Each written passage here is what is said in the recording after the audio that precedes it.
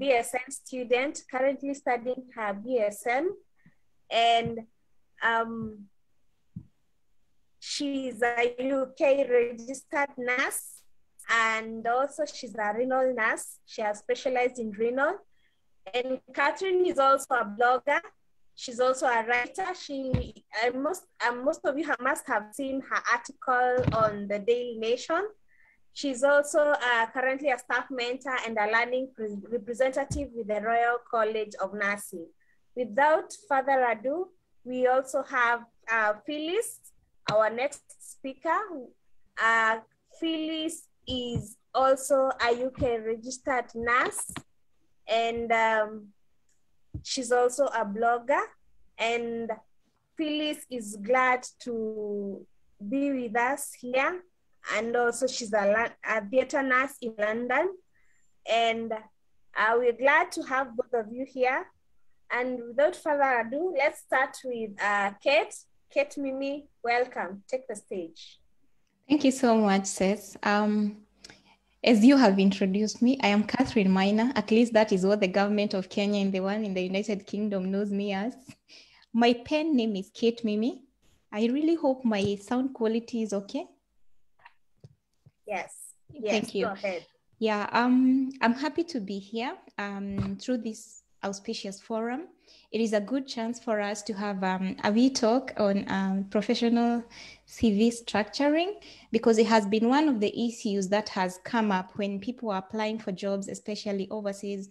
Whether we acknowledge it or today or we pretend that it is not existing, there's a lot of desire for nurses from all over the world to go to Western countries. Most of the time, it's because of um, less um, opportunities back home, or maybe they just want to be exposed to better opportunities. So either way, whether it is um, United Kingdom, like myself and Phyllis, whether it is um, United States, Australia, Canada, anywhere, there is a way that we need to be able to present our skills and experience. So I'll be happy to take us through this. So thank you. Over to you, Cess.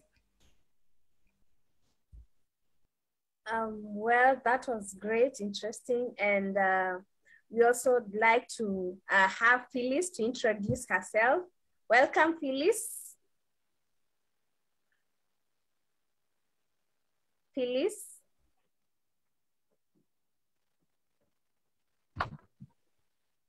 And um,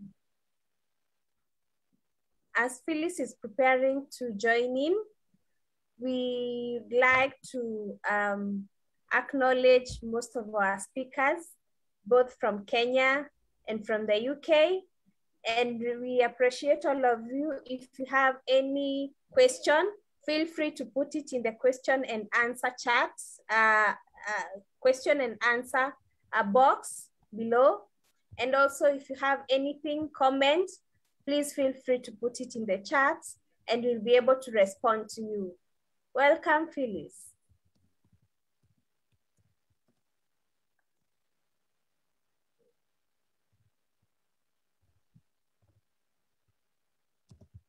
Okay, we can proceed on Catherine.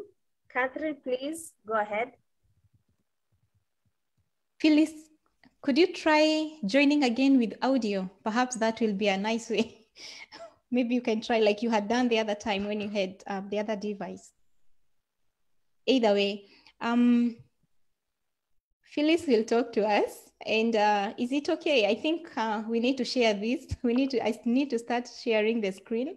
And for the sake of our participants who are working, as we know, nurses work in shifts, we're going to record this uh, webinar and then the link will be shared with you. So do not panic over that, okay? So give me a moment as I try to share my screen share. Um, can everybody see that? Yes, yes, yes, country. Um, slideshow. This is what we were talking about the other day on Nursing Now webinar about um, digital literacy. Some of us are still struggling. Anyway, here we go. So uh, welcome again, everybody. The meeting is officially now being rec um, recorded. So we're going to tackle professional CV structuring for nurses. I'll try very much not to bore you with lengthy lectures. I'll try and make this as interactive as possible. So let's go. So um, those are my credentials. I am a United Kingdom registered nurse. I am also a Kenya registered nephrology nurse, a Kenya registered community health nurse, and a BSN student at the University of Derby. So these are our learning outcomes today that we will be able to present our skills and experiences in a systematic way. We will know the basic structure of a CV and we'll be able to tailor them, that is our skills and experiences to whatever role that we have or in front of us and whatever we want to apply for. So um, when we talk about CV structuring, um, you need to know what's the difference between a CV and a resume. So the Cambridge Dictionary defined it as a brief written description of your education, qualifications, previous jobs, and sometimes personal interests. So I will try not to bore you with these, these very many slides. So you will just have a glimpse of what I've written because I just want to explain what we're talking about. So um, you need to know that we have what you call a master CV. The Royal College of Nursing calls says that your master CV acts as your central database. So you keep on updating your CV all the time. And this, I want you to understand that this is your master CV. So this is going to grasp and capture each and every each and every experience that you've had as a nurse, your philosophies, your interests, um, non-nursing roles that you have held, especially for people who you know you're in the community in leadership positions or perhaps you've done some volunteering work somewhere or maybe you changed your career from another profession to nursing. This is a very good a chance for you to continue updating your master cv and this is what most people um, present. And that is why most agencies will ask you that you need to structure your cv that means that we need your master cv and then we need to make it fit the job description that you're applying for.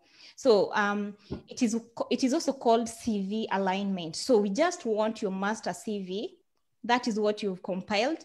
And then we want to borrow those skills and experiences that you have list, listed down so that we can transfer them to this new role that you're applying for. I really hope this one makes sense because a master CV is long. It can go for two, three, four pages. But when we need an aligned CV or a structured CV, it's basically a page or a page and a half. Okay, thank you. So the heading, this is the structure. If you're taking notes, um, you need your heading and your heading simply contains your name and your contact details. Now, I know that um, in Kenya, we tend to write things like um, your marital status, your sex, your religious beliefs. I want you to know that these things are irrelevant. They are especially irrelevant when you're applying for a global career, for example, in the United Kingdom. No employer will really want to know your religious beliefs. No employer wants to know your sexual orientation. No employer wants to know you know what you believe in or what you don't believe in so your nationality sometimes can be important because of diversity and inclusivity but then again, it, it depends with which employer you're dealing with and how relevant it is. So um, as an example of a heading, what I've written there, it's simply curriculum vitae for Catherine Maina, myself, and that is contact telephone number and email address. Please, if you have um, a work email address as well, probably this is a good opportunity for you to use it because some of us have personal email addresses and we have work email addresses. If you have a daytime contact telephone number and also a nighttime contact telephone number, this is another opportunity for you to list it here. We need to be able to know that we can contact you at any time that we want to contact you. So um, these are the pitfalls that I was talking about, that your marital status is irrelevant unless specifically asked for by the employer. Now, the second point, it is common in Kenya, I know, for um, some particular employers to ask you about your beliefs because they don't want to employ people who do not match their institutional beliefs. I do not know how right that is really, But what I know is that the Quality Act, the Equality Act 2020 of the 2010 of the United Kingdom lists nine protected characteristics which employers cannot use to give you or deny you a job. We have um, things like sex, we have um, uh, race, we have your nationality, you have uh, disability. There are nine protected characteristics. And um, there is an opportunity for you after you have been offered the job. It's called the initial conditional offer. You have a chance to fill another form, you know, where you can be able to list all these things. And they will always give you an option of, I do not want to answer. So you can choose that if you don't want. So this is just a summary because we said that I'll keep it um, short and sweet. Thank you very much. So your personal summary, you need to introduce yourself to your employer, aim for 50 to 100 words. And this is what as writers, we call your elevator pitch. If I'm trying to, to um, get a chance to write an article, for example, how did I introduce myself to one of the leading newspapers in Kenya, Daily Nation, how do they publish my work? So I had to first of all make the, the editor interested in what I have to say. So the first 50 to 100 words, they have to capture the attention of the of the person who is reading your work. So I had to make sure that that happens. We call it the elevator pitch. That's just an example. If you're taking screenshots, capture that. If you're taking notes, highlight some of the good things that you can from that example. Pitfalls in your personal summary. I am a team player. People love that word. I know you're a team player. As a nurse, probably I know what you mean. But as an employer, how exactly are you a team player? What do you do? show us, don't tell us. Okay, don't, don't tell us that you're a team player. If you go back to this example, I've talked about something like look at the second sentence. I'm self motivated and reliable while working alone and equally thrive in a team by encouraging and motivating my colleagues. Does that tell you that I'm a team player? It does, isn't it? But it does not tell you vaguely that I'm a team player. I am intelligent. Mm, if you're a nurse, then chances are you're very intelligent. So what do you mean exactly? So detail oriented, um, it is a wee bit vague. Try and be specific in your elevator pitch. In your personal summary, make it as specific as possible. The other thing is I'm a problem solver. So what do you do? Do you sit down and solve puzzles? Do you feel crossword puzzles or Rubik's? You know, you try to do the Rubik's cube and then you suddenly get us an answer. No, try and be specific. Okay, thank you. Your key skills and achievements. Now, this is the other thing. So remember you captured as our, um, you gave us the elevator pitch.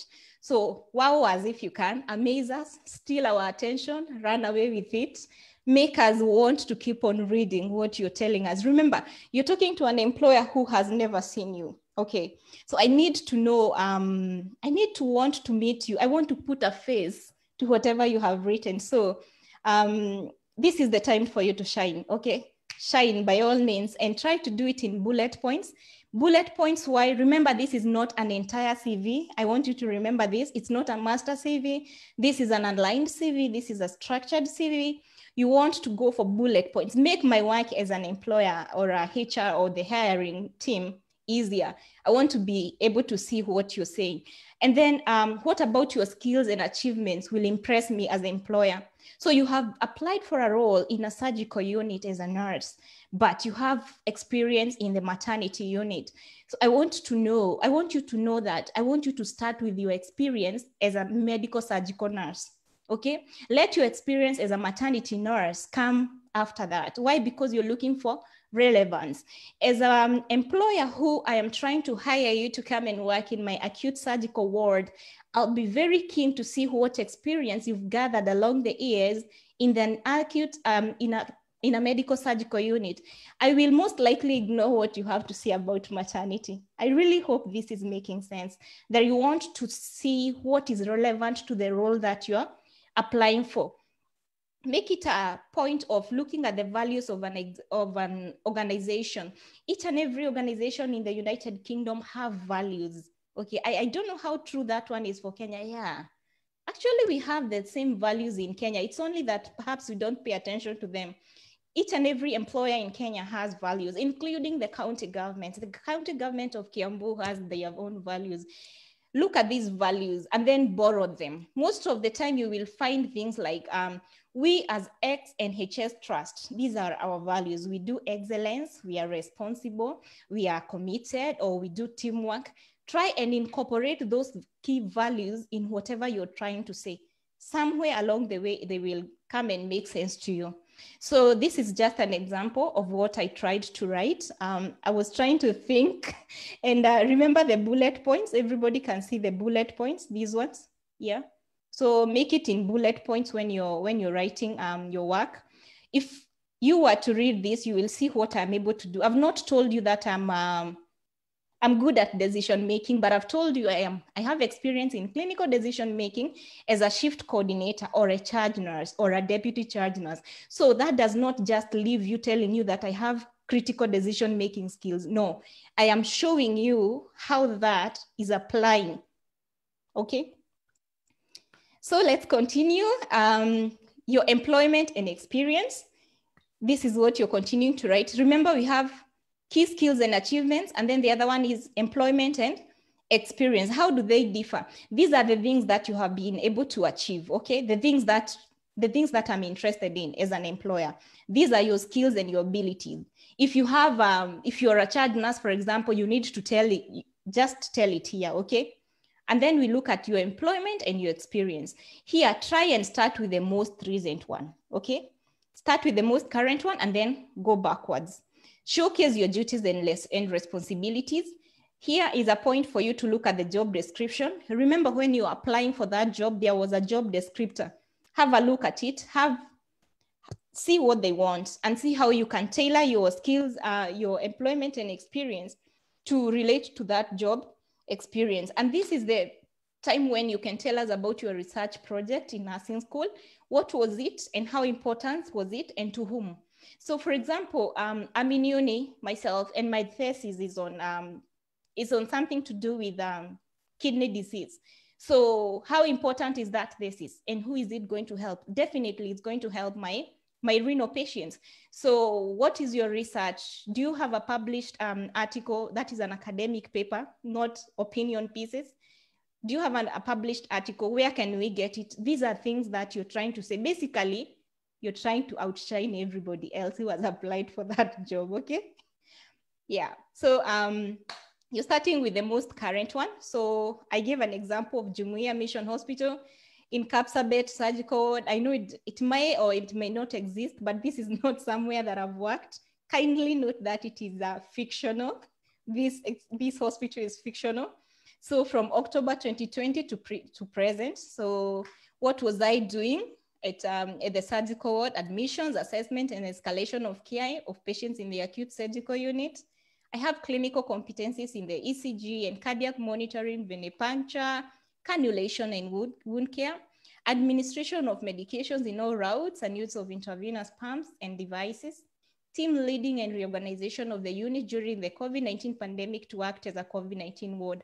For every nurse out there in the world, whoever you are, if you've been working in the front line, when it comes to employment and experience in 2021, surely you have something to say about COVID-19.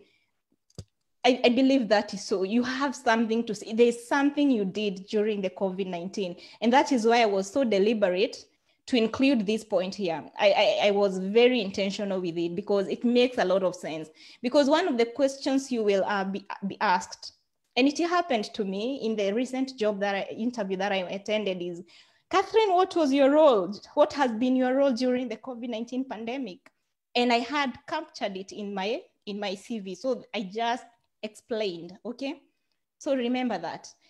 So these are the other things that um, I'm experienced in, especially if you've worked with a geriatric, um, you have a geriatric experience, probably working in a care home, in the acute medical unit, chronic medical unit, medical surgical units. These are things that you can, you can include in that. I'll not bore you so much in the details. Then we have uh, another, another experience uh, Nagini Level 5 Hospital in Machakos in Kenya. Again, this is a fictional hospital, ladies and gentlemen and others. Please don't misquote me. This is a fictional hospital. I had to be very creative. And um, I was in the acute medical department. Kindly note the timelines. Yeah. And remember, this timeline can be on either right aligned or it can be left justified or in the center. It does not matter. Okay. There is no specific way of where you need to write this timeline. So I need to write what, what was I doing? So I'm, profi I'm proficient in the care and treatment of diabetic emergencies. Again, the things that I did. See something else that I've added here? mentoring students and new, sta new staff nurses on rotation. This is very important because it is depicting your leadership skills, isn't it? Thank you very much. So there is also use of the visual inflammatory, I mean infusion phlebitis core to monitor intravenous cannula. That is just you trying to be very smart. so these are other things that you have done, assisting with specialized procedures like central catheter insertions. Um, for people who have worked in ICU, this is a very good time for you to, you know, tell us what you have been doing. Tell us, they are so so many wonderful things in the critical care unit. This is your time for you to do exactly that. And then there's something else. Um, look at the uh, one, two, three, four, the fourth point. So what have you done as a nurse in your unit that has transformed the care of patients?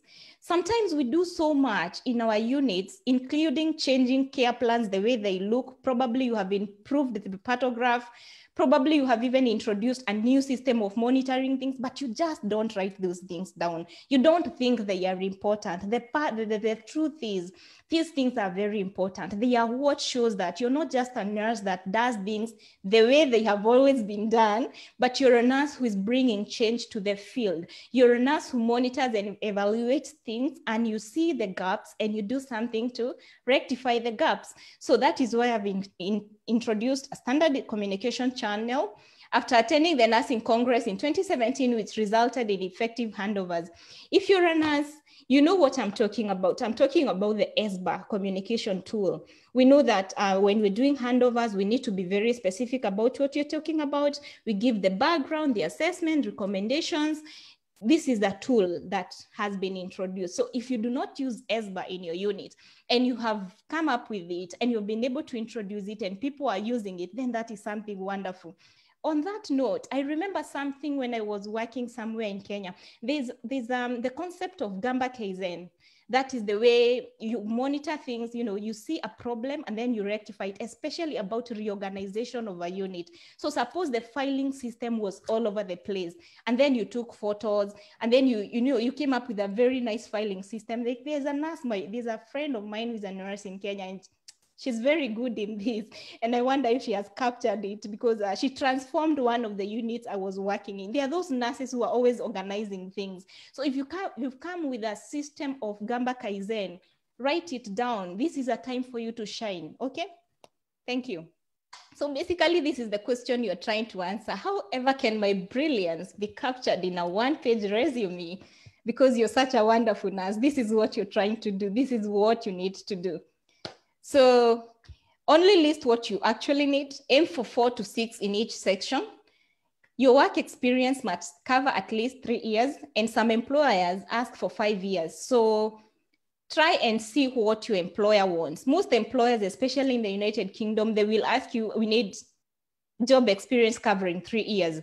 In our cases, most of us um, nurses from Kenya, we have so much experience from different places. Try and see which one is relevant to that role and capture it right there. Again, again, again, look at the job description. What is written in the job description? What key employment, um, what key experience is your employer looking for? Is your employer looking for a nurse who is flexible? Is, a, is your employer looking for a nurse who can, who can teach, who can mentor others? These are things that you need to to include there. I did not use each and every um, each and every skill that was required, but I've tried to capture as much as possible. So I know you got this and I know that you will do it. So the next bit, your education. You start with the most recent, then go backwards. If you're a student, you need to include this. For example, when I was applying for my for the new role that I've told you about, I had to include my uh, my status as a student. That from May 19 to present, I'm taking Bachelor's of Science degree top-up studies, student at the University of Derby, England. So this is one of the things that you start with, and then you go to your um, Kenya registered nephrology nursing um, higher national diploma. Then you go to your Kenya registered nurse or whatever is, whatever qualification as a nurse you have. So the other bit you need to include is your professional training and activities. These are continuous development topics that you have attended. Include volunteer work or membership to any professional bodies like the RCN, the NNK, the KPNA. So NNK, for people who are not from Kenya, this is the Nurses, National Nurses Association of Kenya. KPNA is Kenya Progressive Nurses Association. KRNN is Kenya Registered Nephrology Nurses um, Association.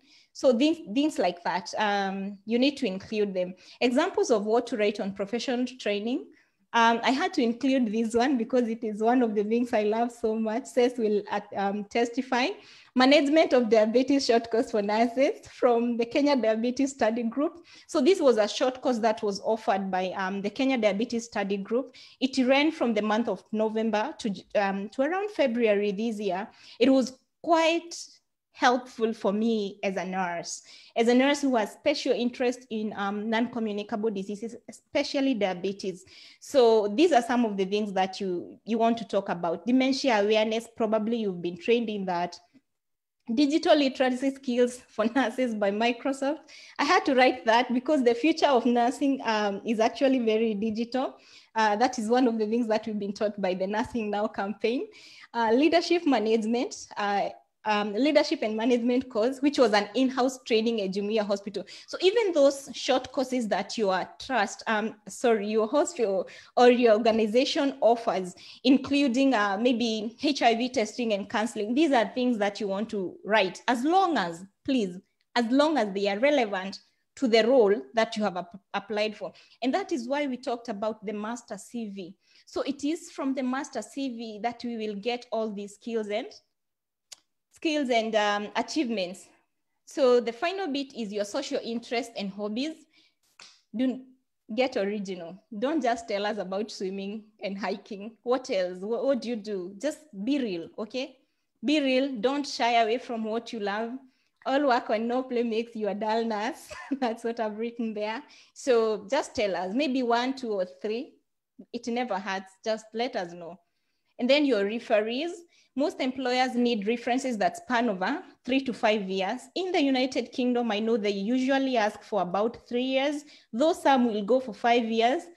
Check with that role. And please, if your referee has an official email address, you know, an organization one, it is better to give that one rather than the Gmail or Yahoo or whichever account. But if they do not have, you can always explain to your employer that they do not have an organizational email address. And then could we please make use of good referees that make sure that this referee is somebody who has something, something positive to say about you. You do not want to miss out on a job opportunity because your referee, um, you know, marked you down. So alert your referee as well, because some employers will contact your referee because before they ask you for the interview. So let your the referee know that you're using them as a referee, and if a chance comes, they will be asked to talk about you, and they need to do exactly that. So that is usually the last piece of your um, alignment of the CV. And these have been my references for this matter. So I hope this has been quite helpful. I know I have tried to rush it, but it is because I'm giving you room for questions. And I'm also giving you room for a little bit more discussion about which parts perhaps you feel I need to repeat. So over to you, Cess.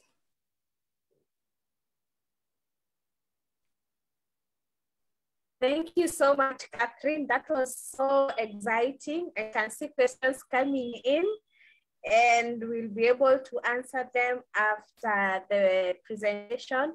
Our next presenter is Phyllis. Phyllis, uh, welcome. Hi, everybody. I'm so sorry, I got two screens because one of them is very, one of them is very quiet, and the other one, at least I can see my face, but I can't hear people. Anyway, um, apologies, guys. I did not get enough time. Sorry, I do not. Um, please, excuse please. We're having some echoes. Kindly use one device so as we can avoid the echoes. kindly. Thank you.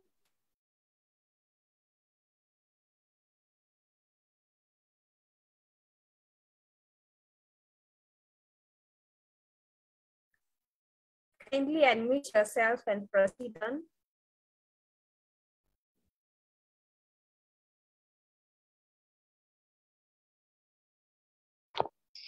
Hi guys, so apologies for those inconsistencies.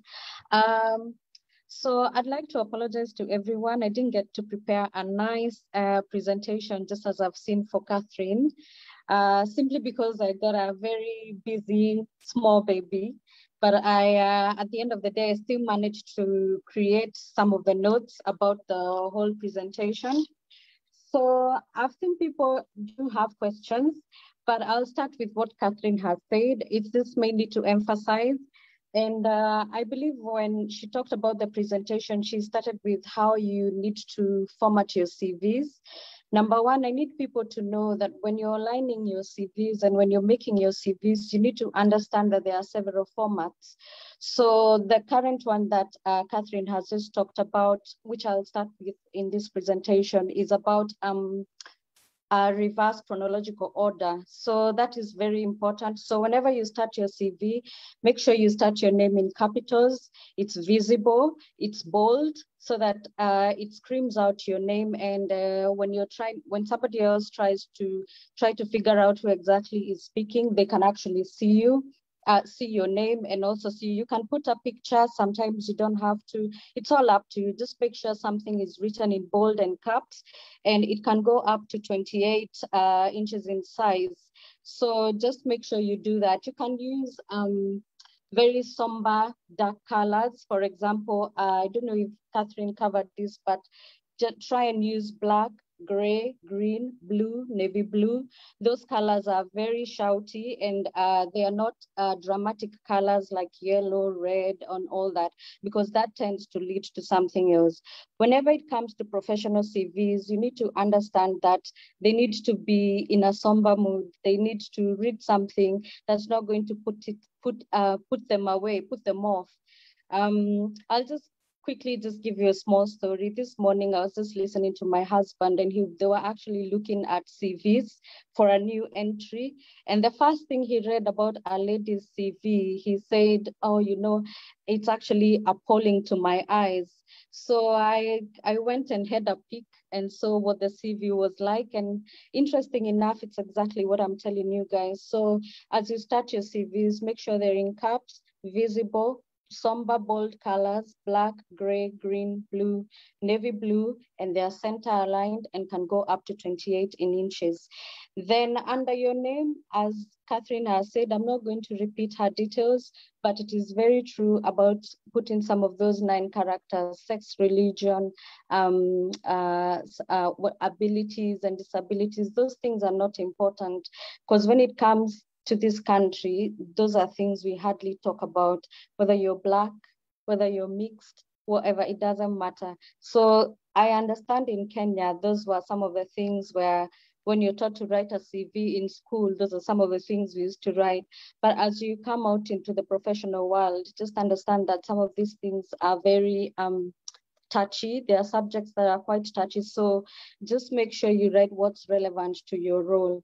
Then um, when it comes to professional summary, uh, it's very important you write the things that are key skills to what you've been doing. So just understand that once you're talking about your professional skills, don't go into so much detail about uh, if you want to say you uh, you're good at this you're good at that just give the actual attributes. You know in english we have the word attribute so it's usually just one one sentence of who you are attribute. So just give those sorts of attributes and strengths that when the professional, when the uh, employer or somebody who's professional looks at your CV, they'll go straight to your strengths and attributes.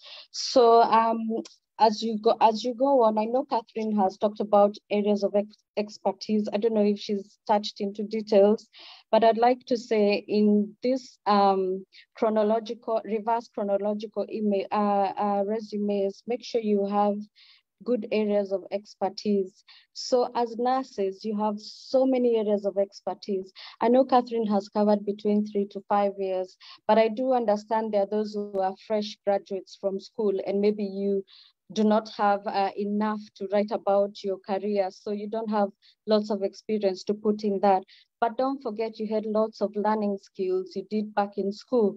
So just ensure you write that as you begin your CV. Do not write things you haven't done because I've seen that's what most Kenyans are doing. You write things you haven't done, you're asked about them, you got no idea, no clue.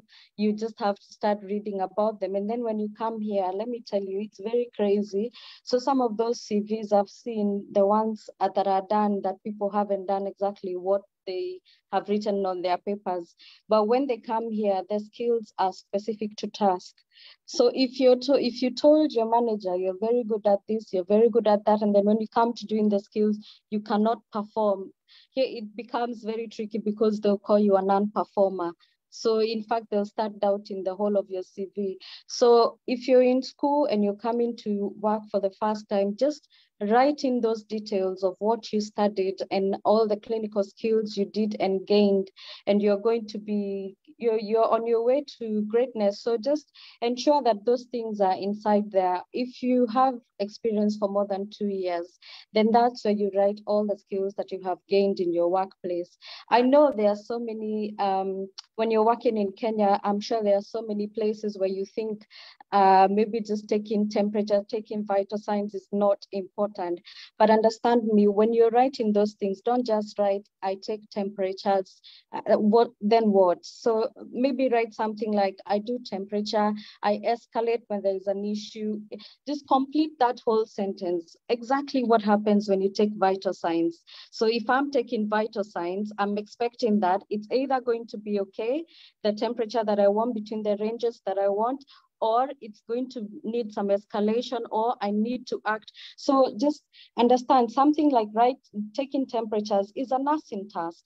So you write, I take my vital signs, I, I monitor and I escalate. So that is like a whole statement but uh, just don't shorten things like you you you take mm-hmm. blood pressure i take pulse i take yeah we know you do all that. It makes sense but tell us what you do once you take them. And then the employer will understand that this person knows what to do with deranged vital signs, not, knows what to do with deranged when the patient has deranged um, results. So just understand that when you write your CV, even the mere most the mere task, those menial tasks, I don't know what word to use, those really tasks, the, the one the tasks you feel that you do them every day and you don't really um, find that that is more of a nursing thing to write or it doesn't sound glorified or whatever. It doesn't it doesn't need to it doesn't need to be very plain like that. It, you can, it can still come out to be a complete statement, a nice statement that when you put out to your employer, they will know that you're somebody who's astute. So uh, apart from that, um, of course, you've got your professional experience, uh, as the chronological order goes, you start with your current and go to your the one you did when you're starting nursing school. Um, uh, what is that? Also accomplishments. I've seen you, I've seen some of those comments you're bringing in. uh, also for your accomplishments and hobbies, it's good to write them down. Uh, and as, as, as Catherine has said, it's good to tell them what you actually do. Sometimes you may not have hobbies, to be frankly honest with you, I think my hobby is not even swimming. I tried swimming, I, I think. Uh, uh, so I think, and I only read, and that's my only one, and I don't know what else to write. So unless I start telling them I do fictional novels, I don't know what, it's it's acceptable. So when you know that you don't have that you do not have those hobbies to write there, don't write things that you don't do just write other things like accomplishments. Say you went to um, what do you call them? Like a medical co medical conference you got certificates in something just write those accomplishments. You don't really write to need to write your hobbies if you have none. Look be creative look for something nice to put inside there. Also I don't know if uh, Catherine, you told them, but I do really like seeing CVs that have cover letters something that just gives you a whole definition of who you are in summary before I get inside your CV and dig in to see the specific details I need. But um, as we do all that, even as you prepare yourself to write a good CV, what I'd like to encourage us all is just be you. Don't let somebody else write things that you do not know of. Sit down, think about yourself, think about your skills, think about what you're good at. And I'm telling you, you're going to fill in two papers you will not believe because you've got way more skills than somebody else sitting down writing for you. If you want somebody to write for you, it is still fine. But of course, just sit down and write down all those skills because you've got more than you know. Just sit down, write the skills, even if you take an hour or two just to write down what you know you're good at. I'm sure something good is going to come out of it. So just sit down, write your, your write your own things, those things you've done at work, those things you've done out of work, and those things you know that are going to put your foot your best foot forward. Just write down those skills. I'm sure they're going to get you a job. Maybe most of you should know that nobody wrote our CVs when we came here. We struggled, we pulled our teeth, like mine, I think I almost didn't have a thumbnail, but I did, and I managed to write something really nice. And I remember up to this day, my manager asked me if I had somebody professional write for me. Told them, no, no, no, I those are just me. I just sat down and wrote all that stuff. So I know, I know, just put your effort, put your effort in it and you'll be surprised of what would come out of it. I don't have much to say that's my quick presentation. Even though you cannot see it, you can just hear it and, and see me. But that's basically all I've got to say for now. Um, back to you. wow, interesting, interesting, Phyllis. Um, and I believe uh, what you have summarized and given us has really impacted most of the listeners, as you can see on the chat session. Mm-hmm. And uh, well, we can tackle the questions. Someone asked, should I include clinical placement as part of work experience? Catherine? You could answer that one. Yes, yes. Um, you can you can include that, especially for um, new new nurses joining mm. the profession. This, mm. These are skills that you have gained, as Phyllis has told you. So mm. your clinical experience is very important. Kindly include it. So the answer is yes, you can. But I'm believing as a nurse of three, five years experience, there are mm. even more experience that you have other than clinical placements. So yeah. Yeah, and I believe that is quite a challenge, especially for uh, nurses and clinical officers or medical officers who have just finished uh, their their tertiary education, the, the college, university, yeah. Yeah. and so they need to look for employment, and uh, that is quite critical, especially for the nurses who go f- and nurses and doctors who go for their one year internship. Internship, yeah. Mm, so yeah. Mm-hmm, mm-hmm. Um, here, uh, Phyllis, there's a question for there's a question for you here. Mm-hmm. Uh, is there a limit to the number of pages a CV should have? Miriam Wangechi asks this. So I believe there is no limit, but uh, make sure at least you got two pages. Okay don't give them a whole i don't know I, I, know you've got more most of i know for somebody who's gone up to five years or more you've got a lot of experience to write on that on on those papers. But if you're at that level make sure you summarize. Just do two to three on your marks but i believe there's no limit but try two to three. Try to fix in your your details in a two to three page at least um, it will not bore the employers uh, yeah May I say something about that? Um, yeah, yeah, you can add. Yeah, we, we need your master CV. Remember, we have the master CV, which is three, four, five, or whatever pages. Yeah. But when mm-hmm. you're structuring your CV, um, actually, at least the Royal College of Nursing, um, they recommend for one to two pages. So mm. try not to give your master CV. Remember, we agreed mm. that we have the master CV and then we have the one that yeah, you're structured. So go for one to two pages. Okay. Mm. Yeah, thank you. And Nicholas Ngujo, who is a clinical officer, asked whether the work experience uh, that he has gained doing some locum before he became registered with the government board should be uh, put in the CV? Uh, let me try to answer that. I believe that's quite vital, especially if it's uh, for a role that you're applying for. Make mm-hmm. sure you put it there because if um, you miss it and that's what they're looking for, then you miss the whole point. Just make sure you insert those some of those details. If you did in locum and you know that there are key skills to what you're looking for or what you're applying for, just make sure they are in your CV.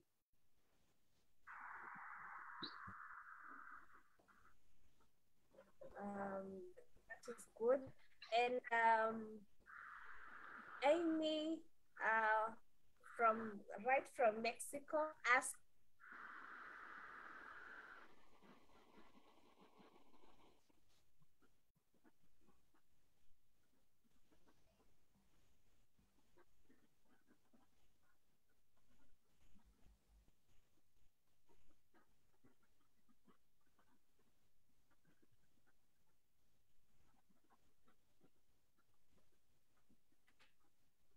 we, we just lost Cecilia.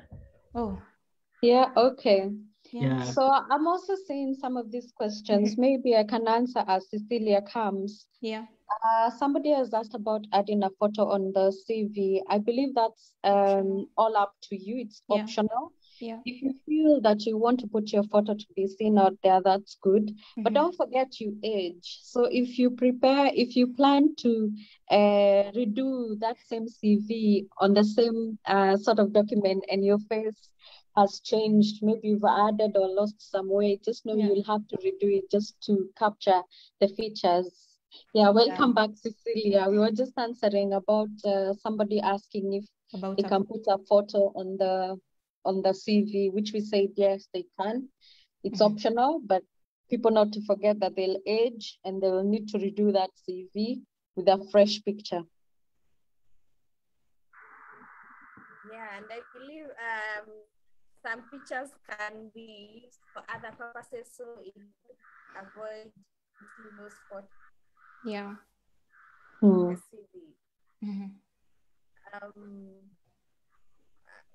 someone else asked, uh, I've worked in the same organization six years, which have been spent shuffling between more than one department and acting on several capacities. Mm-hmm. How do you factor this in putting in mind the timelines in this situation? Mm-hmm.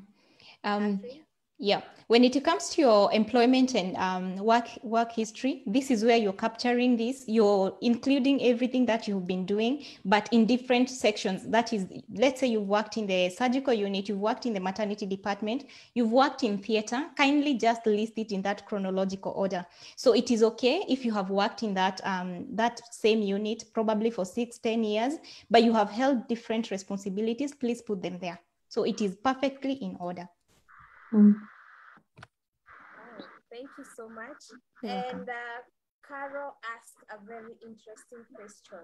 If I have mm. a current working gap of one and a half years, what do I put on my CV? You find that you have been out of work for uh, some quite some period of time. How do you factor that in a CV? Phyllis, you want to go? So yes, let me let me give it a go. So if you haven't been at work, um, I don't think that's actually uh, something that you want to write on there because if you're looking for employment, you can just leave it. But just know that some of these places, like here in the UK, they will ask you what you are doing in between the periods of a certain time. Yeah. So say you are not at work for one and a half years, they will ask you what you're doing. So they will not ask you on your CV. They'll just ask you to write it down and then they'll they'll know what to do. But basically for you, if you haven't done, uh, if you haven't been working for an, a year and a half, just don't put it on your CV. It may put off some of the employers. But if your agency or your employer requests you to tell them what you've been doing in the year and a half, then you can tell them. Uh, yeah, uh, that's what I'd say. Yeah. That is quite true. And the other thing to remember mm. is please do not feel guilt because you've been out of mm. work. Some people mm. take time off to take care of their families. Some mm. people take time off to do other things like try other new roles. Some people mm. take off time to go and travel the world. So do not do not shy away. When your employer t- when your employer tells you please explain the gap in your CV, kindly be real. Just don't fake things. Be real yeah. what you are doing. Yeah, like for example, me, I'm off work just because I gave birth. And here it's nine months. So what would I write in my CV and have to say nine months I was off yeah. taking care of my child? So it's just be real, just say exactly what it is ha- that happened in between that period. They'll be fine with it. Just don't lie. Yeah. Say exactly what it is. That's mm. interesting, and especially for for the nurses in Kenya, you uh, in the recent times finding a job is quite sick or I call it uh, uh, it, it, it really gives a hard time for the nurses for one to get a job and that really frustrates one when they are going to put down their CV. I think that's that's quite interesting. Yeah. Uh, we also have another question. Um, do how sh- how does short courses fall? Where do, does short courses fall? Um, that's what I talked about professional training and, and um, development. I talked about that. These CMEs that you have attended, these short courses, small certificates here and there, this is where they fall. That is the professional activities and development section. Mm-hmm. That is where you put them. So uh, just to add on that, uh, it some CVs you won't have that. If you didn't attend any of those, you won't have that. Just if you have those things, the thing is you're trying to make yourself look good to your employ to your new employer or your prospective employer. So for that CV to look good, just make sure you put those things. Just write down a new column of professional training or development and add in those things just to make it look good. And because it's not just looking good, you have actually studied those things. So it's it's true. You have actually done those studies. Yeah. Yeah. And uh, the, the topic has been so interesting and uh, listeners and participants are asking for a sample CV. Um, maybe Catherine and Phyllis will put their email addresses in the chat box of the Q&A section and you'll be able to contact them still someone is requesting to be assisted in their CV. So kindly liaise with um, Phyllis and Catherine through their mm. emails that they'll be put that they'll put on the chat area. Okay. So um, I will also um, re request how could you advise the young nurses and the midwives, being the year of the health and care worker. You want to go first? Oh, I go first. Okay, fine. uh, well, um, is this to do with a CV or is it general? Well, um, I think it should be with CV considering that um, nurses want to go to, to the UK, they want to go to the US, and so how do they go about uh, their CVs? Okay, just like Phyllis said, when we did this, actually Phyllis and I came to the UK in the same year. When we did this, we did it by ourselves. There was no agency that was aligning our CVs. There was no one to structure our CVs. So we had to do it um, by the skin. You know, we had to do this. So go ahead, sit down, think about what you have done. If you're a new nurse or midwife, think about your skills, your clinical placements, like we have said. Think about your internships, things that you have accomplished, and write them down you can do this. Spend time at least an hour two hours. And then always remember that do not send in your first draft. The first draft is always a rough work.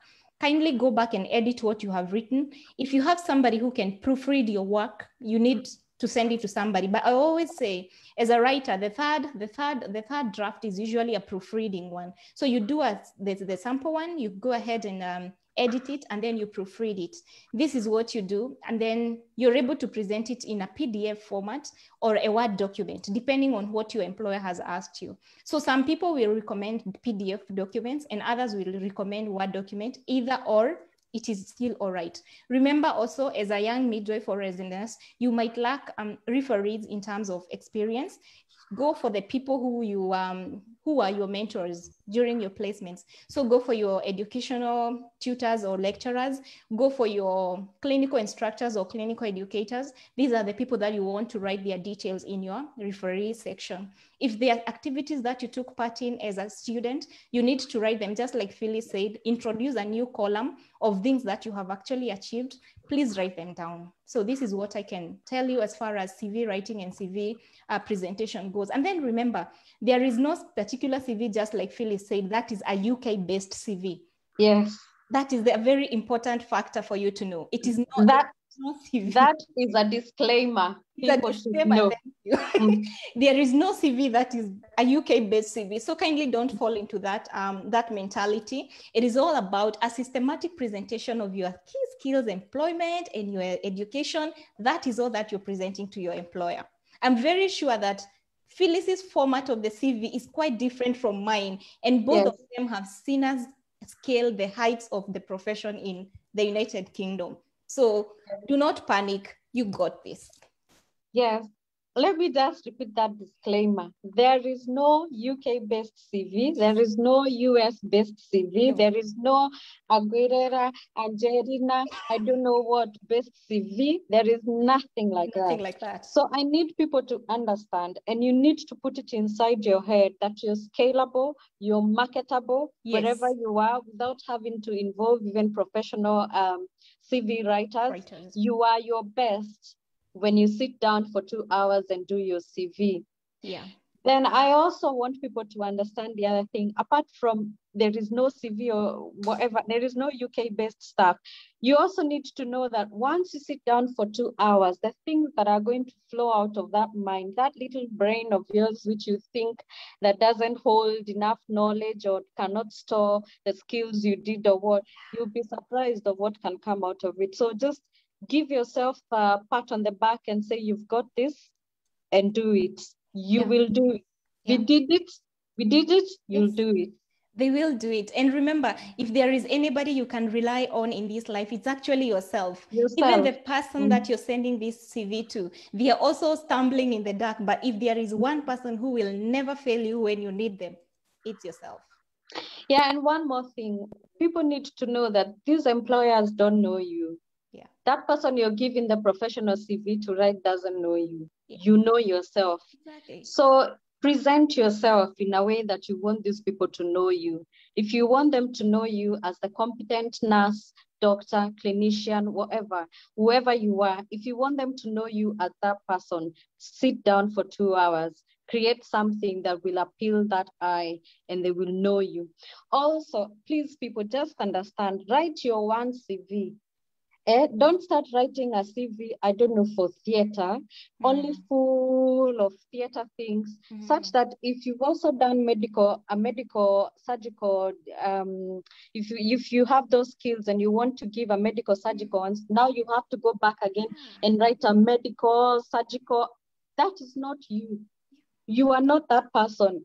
You do not just do one skill. If you're in Kenya right now, I understand that you do all four skills or even more. You've done so many departments. Write them all down so that you don't keep writing new CVs every time. You want to do a theater CV, you write a theater CV, you put all your theater vomit there. And then when you come to, uh, you want to do renal, oh, now I have to think of renal.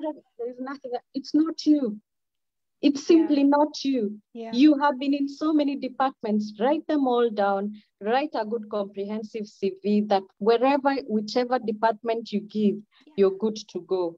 Yeah, and that is very important, Phyllis. I mm. really have to emphasize that. I have mm. seen cases where nurses are applying for psychiatric roles, especially mental health nursing, and then you think that your employer is only going to be impressed because you have been in all you know mental health unit in Kenya. No, no, no, no, no, no. Just stick to who you are.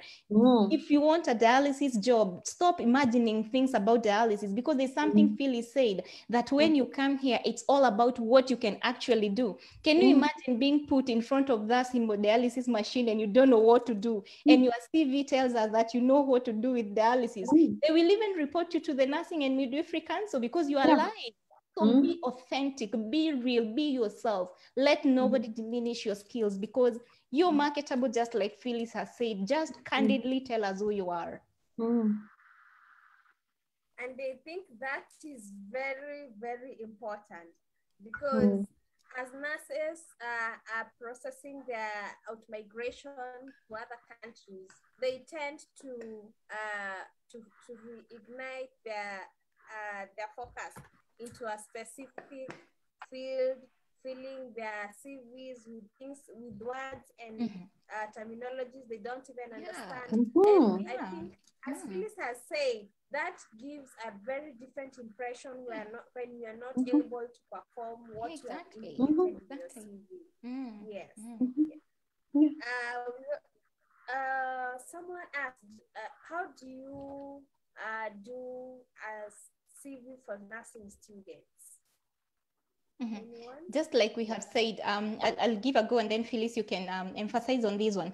As we have said, look at the structure that I have just given. And uh, if you email me, I'll give you, um, I'll also be happy, happy to give you a template of a student nursing um, CV. The thing is, you, you, need to look at what we said, including, uh, and I think for student nurses, this is a point where you might want to think about a cover letter because you mm. do not have so much that you need to present. And then think mm. about your heading and then go straight to your key skills and achievements as a, as a student nurse. What have you been doing? And also remember your clinical placements. We cannot overemphasize this one. So that is what you will be presenting at this particular point.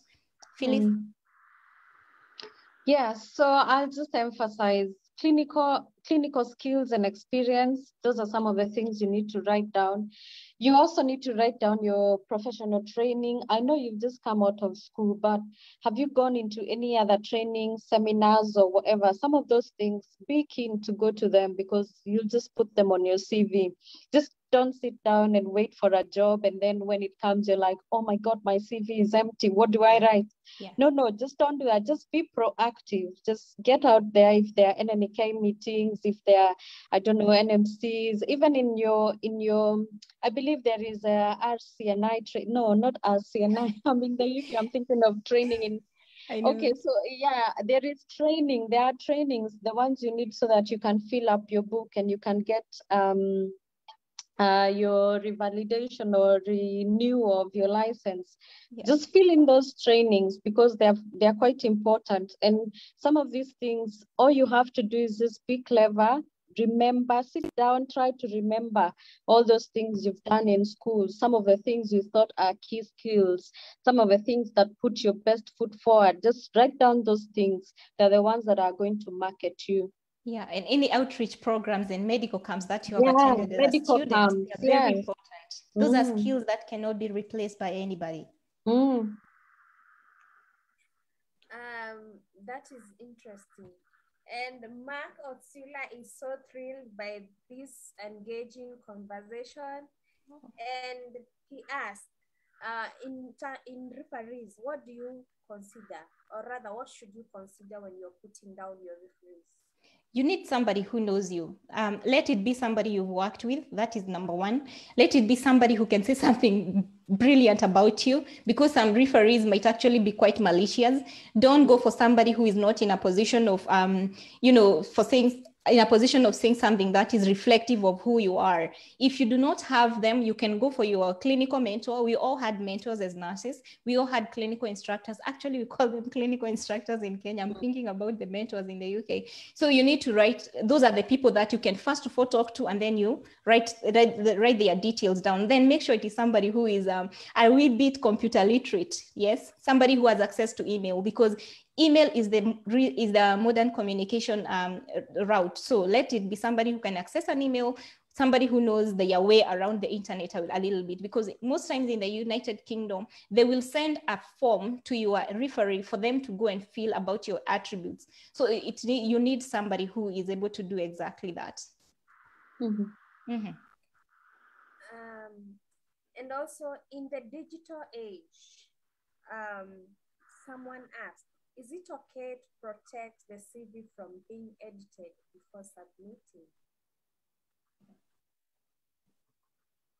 Um, Phyllis? Okay, let me just quickly say it really doesn't matter. The reason why I'm saying that is because why the reason why you're protecting this CV is so that somebody else does not copy it. Am I right? Yeah. But if you're protecting it, even if they copy it, maybe they'll just copy the format, but yeah. yet they can't use the details on there. They can't use your your emails Experience. they can't use your whatsapps yeah. they can't they can't use your number it doesn't really matter so if you want to protect it you know your reasons but really generally it's just as it is yeah. just leave it as it is nobody can uh, re replicate you so it will just remain as it is so if you need to pro if you feel the need you have your reasons well and good but really there is no point. No to. Absolutely. And um, I think people are so getting uh, so much thrill, and I can see some are inspired to get to the UK. Um, as we wind up, I would like uh, we start with uh, maybe Phyllis. You tell us what you do, how people can find you, and uh, talk to someone. There's someone who is watching you. They're wondering, how do I get to the UK? How do I get to to to have greener pastures, so to say? Yeah, go ahead. Okay. Please. Okay, so basically, you want me to tell them how to come to the UK or how to get me when they come here, or that too. hmm? so, yeah. So, oh well. Yeah. Yes, yes, Cecilia. Well, you can inspire someone, maybe someone who's planning to get to the UK and talk to some mm. talk to a young one. Okay, so basically, I'd like to say UK is a really good place to work. Well, of course, it's not the easiest because it's not home, but we make it work and make it home. And that's what I have done so far. So I've been here for a couple of years now and I'm loving it. I've got now a young family and I'm loving it. My husband actually is around here. He was saying if if if he wants if he wants to be asked any questions about CV, he can answer himself. Awesome. Maybe can say hi. yeah, I, I will ask him to come and say hi. He is actually a very senior guy in at his workplace and he does interviews as well. Uh, actually, let me just call him here. One second. Go ahead. um, that's quite interesting and um, well, so here, yeah, so here comes my husband. introducing his Mark. Hi. Hey, Mark. How are you? We're good. So I've been listening to uh, some of what's been said. Um, so I would say a, a, couple of points basically to add. Um, so around this kind of interesting um, like you've got these special interests, right, that are really interesting. Like people have like yachting and all this stuff. Um, in the UK, generally we look quite favourably upon kind of any sort of volunteering type work. So if you've done some work for charities, any kind of charitable work, mm. if you've helped out in a local school, um, helping youths, that sort of thing is always looked upon very favourably on CVs here. Mm-hmm. Um, the second thing I would say is um, in the UK, um, I don't know how it is in Kenya, but in the UK, you're not actually allowed to give a bad reference. Mm-hmm. So let's say you're working in the UK and then you move jobs to, you know, another hospital or whatever. Um, employers are not allowed to give bad references. However, what they can do is refuse to give a reference, and mm-hmm. that's that basically equates to the same thing. So you know, if your employer refuses to give a reference, you know that that's that's basically a bad reference. But just to clarify, your employers here are not allowed to give a bad reference. Hmm. Um, and yeah, as as Phyllis mentioned, kind of the layout of the CV is really important. It has to be really clear. Don't you know? Don't mix too many font types. Yeah. Keep it really simple. Um, for my personal CV, I have a picture of myself. Um, I don't know. Maybe I just think I look good. I don't really know, but I, I, just kind of I like to have yeah I like to put that on there. But um, it's I think typically people more often don't put pictures than do, um, but I I quite like to have a picture. Mm-hmm. Um, and on my CV as well, I have basically like a table, like a bar chart mm-hmm. on my CV, mm-hmm. where I basically rank the skills I have and I give each bar kind of a percentage. So which which areas am I most basically comfortable in? Um, I think for the whole um, education, um, employee or in, yeah employment kind of chronological order. I mean, if you've only studied and you've got maybe a, like an internship or something, it's fine to put your education first Yeah. but typically you would put your education last, right? You put your experience 1st mm-hmm. in, you know, reverse chronological order, and then put your um, education last. Um, it's also quite nice to have at the very top of your CV um, a three or four sen- three or four uh, sentences, kind of uh, almost what your mission statement is. You know what you want to get out of your next role, what you bring to the role, mm-hmm. um, and the sort of things that you enjoy. So even three or four sentences, it just kind of it, it adds that kind of personal touch, right? So you know, I'm not a big fan of writing covering letters personally. I mean, it may be different in the medical profession, but I'm in finance, so typically we don't bother with uh, covering letters. Um, but what we do do is have kind of these um, mission statements, if you like, at the top of your CV. Yeah that's that's quite nice.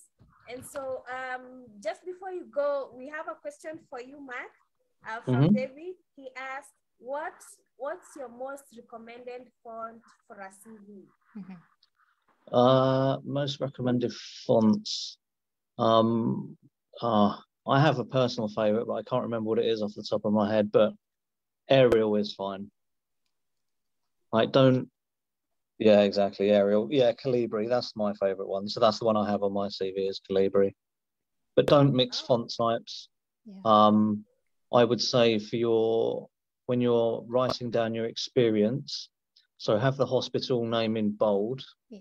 but have it the same size as the description of what you've done underneath.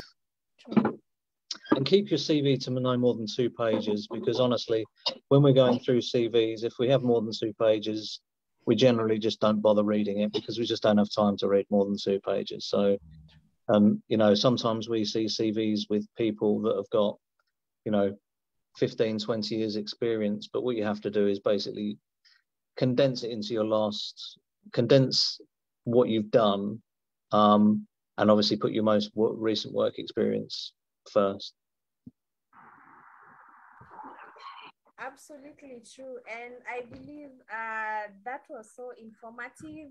And uh, for the viewers, have been able to understand what you say, to keep the CV simple, two to three pages. And um, wow, thank, thank you for the opportunity. No problem. I'll pass it back to Phyllis. Thank you, Mark. Yeah. Thank you, Mark. Um, yeah, as we wind up, uh, as you, if you have more questions, I can see time is not on our side. If you have more questions, you can uh, get to Catherine and Phyllis. The Catherine's email is on the chat chat area, and oh. Phyllis will be able to yeah uh, email address on the chat. So um, as we, uh, the final stage you give to Catherine Maina, take the stage. Oh. Sorry, I was trying to write um, Phyllis's email addresses. You have it. I think you can write it. All right. I'll just write it because I'm on my phone. yeah, just quickly type it. Uh, well, just like Phyllis said, um, there is great opportunities in the UK. I know that one of the motivating factors for many people is actually money. And I will tell you without mincing my words that you have an opportunity to make money in the United Kingdom. Some mm-hmm. of us came here, especially myself, knowing that I will only stay in the UK for a year or so, and then I'll go to the United States to make big money. But I'm telling you, I've made UK my home. Uh, yeah, this is where I will do everything that I need to do. I remember when we started, um, Phyllis and I had a chat. Um, she really inspires me. I have to admit that she's the one who pushed me into leadership because I always shied away from leadership roles. I've always been quite a timid girl, trying to be very bold in my writing, but very shy when it comes to verbal communication. But she quite insisted that I needed to do more than just write. I needed to take the bull by the horns. And this mm-hmm. is what you, you need to do as a nurse who is in Kenya. Kindly desire better desire better, remember your skills, remember your training in nursing school. There is no nursing school in Kenya that is easy. There is none. I've not had any student nurse who has told me that the, their training was amazing. The, the training is always very grilling. Please want better, desire better, and the United Kingdom is giving you an opportunity. For student nurses, whether you're in Mexico, whether you're in Pakistan, or wherever you are, the United Kingdom is accepting you as a student nurse fresh from um, school so you don't need to have so much experience. You can cut, come in as what they call newly qualified nurse. It is the, the process is still the same. You'll do your English exam, you'll do your competence-based exam. So please do not shy away from the United Kingdom. Have confidence in yourself and remember, just like we said, you can never fail yourself. We can't mm-hmm. fail you. There are things that we might do that will not be relevant to you, but you will never fail yourself. The other thing I have to insist is for every nurse out there, please have mentors, have people that you look up to, and have these conversations with them. Sometimes, Phyllis, I look back and I say, the kind of journey I've taken in my nursing role, I wish I had a mm. mentor, somebody who was mm. out there to tell me, Catherine, I think based on your strengths and weaknesses, that is what we mm. call a SWOT analysis strength and weaknesses, opportunities and threats analysis. You look at that and you say, you are strong in this, and I think you can do this one better.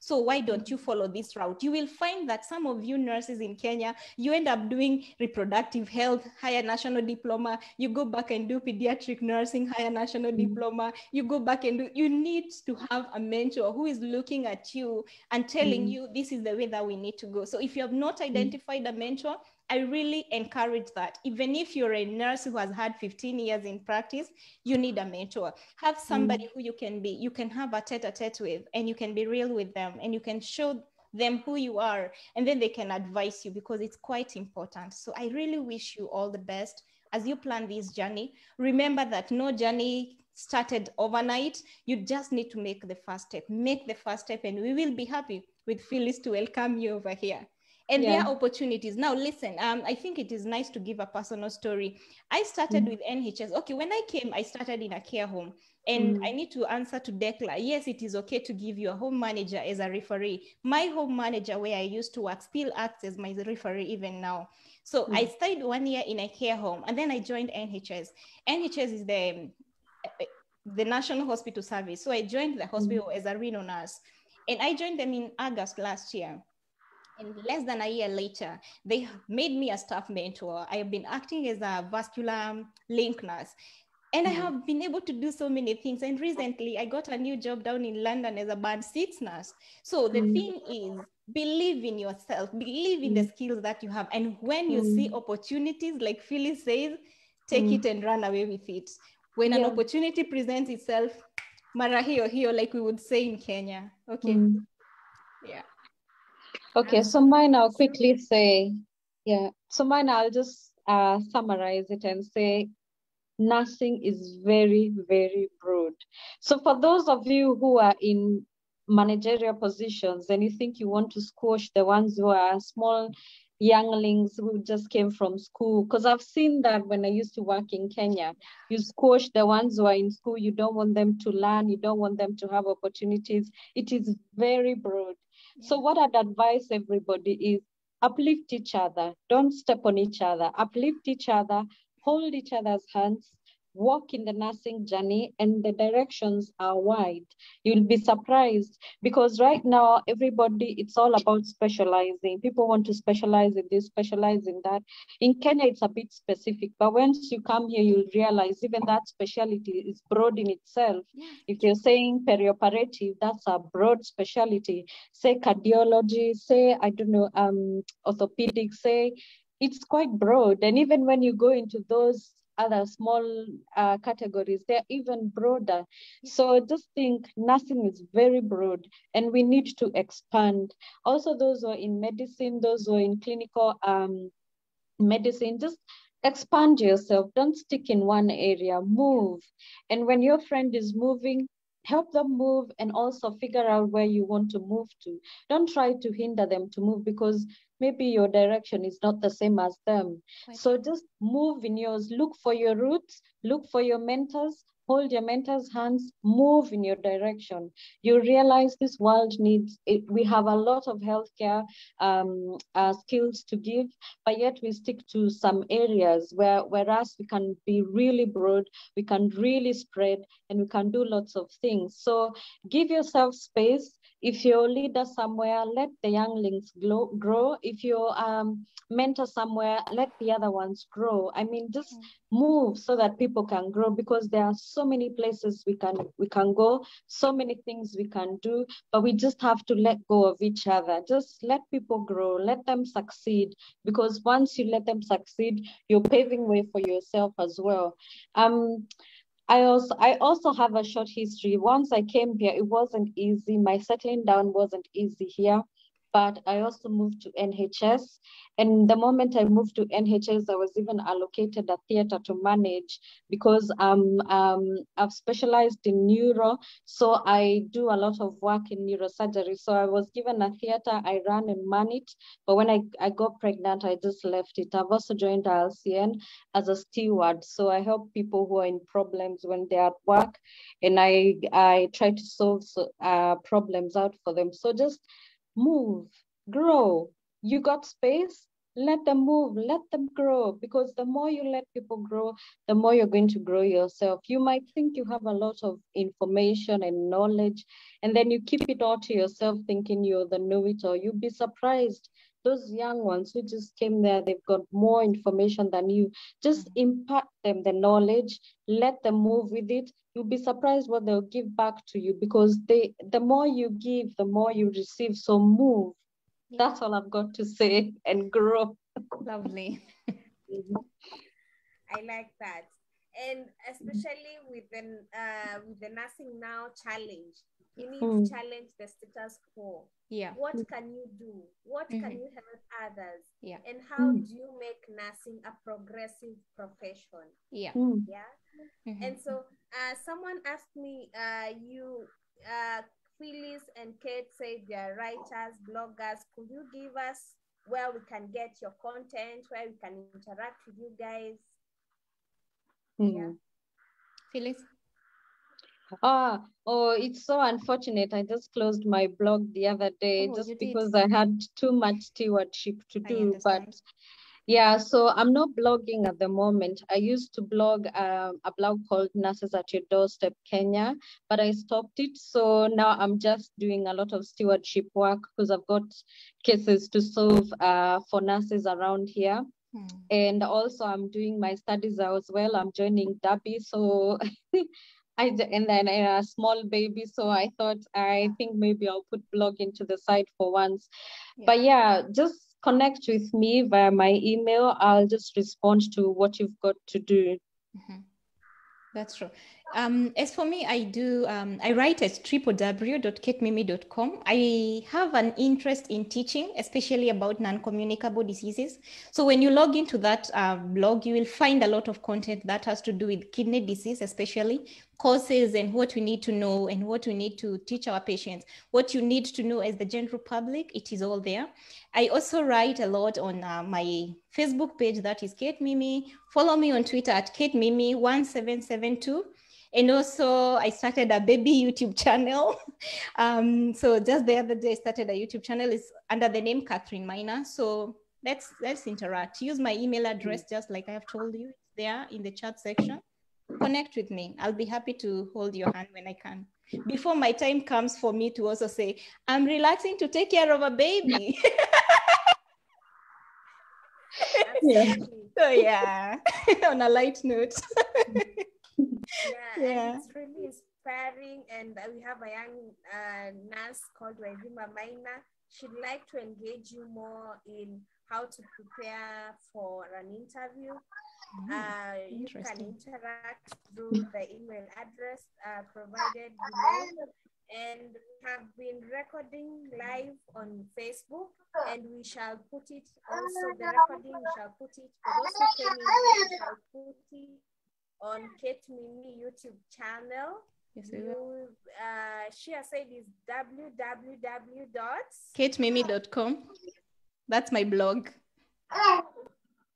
Yes. And so uh, you'll be able to get more information uh, through those recordings and continue engaging us. We'll be there for you. And this has been a wonderful session for like-minded nurses for from independent professional nurses and without uh, I think too much questions for those that you have not been able to answer kindly link uh, through the email addresses provided and we shall be able to get back to you and stay tuned for the next webinar uh, to be uh, to be given out later. This has been your uh, your your host, your moderator. My name is Cecilia Ndung'u.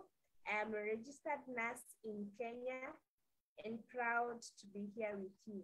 Thank you, all of you, and have a lovely and nice evening. Bye-bye. Bye-bye. Bye. Bye.